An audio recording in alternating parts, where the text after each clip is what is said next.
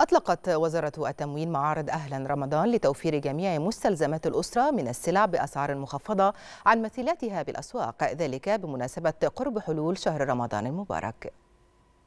ضمن آليات الدولة لتوفير السلع وضبط الأسواق أطلقت وزارة التموين والتجارة الداخلية معارض أهلا رمضان بمحافظة الجيزة لتوفير مستلزمات شهر رمضان للمواطنين بأسعار مخفضة في ظل زيادة الإقبال على شراء المواد الغذائية الرمضانية. هو نموذج لتدخل وزارة التموين بأحد آلياتها السريعة والمنضبطة وهي السيارات المتنقلة.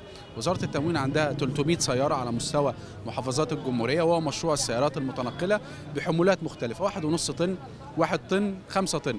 بنطرح فيها ثلاث حاجات رئيسية. أولا اللحوم الطازة والمجمدة والدواجن المجمدة بالإضافة إلى السلع الحرة والسلع التموينية وأصناف من يميش رمضان.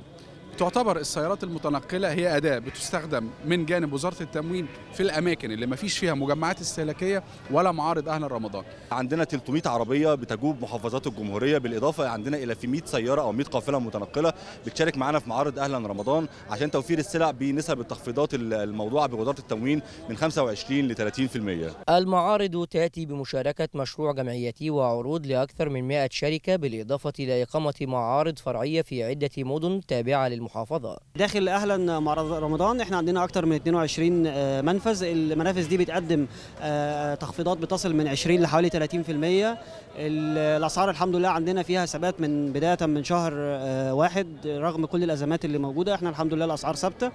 ال 27 سلعه اللي موجودة على منظومة التموين بالاضافه للسلع الأخرى. هي الخطوة دي 10 على 10 مش مش وحشة وحلوة وأسعارها حلوة وأسعارها في متناول الجميع.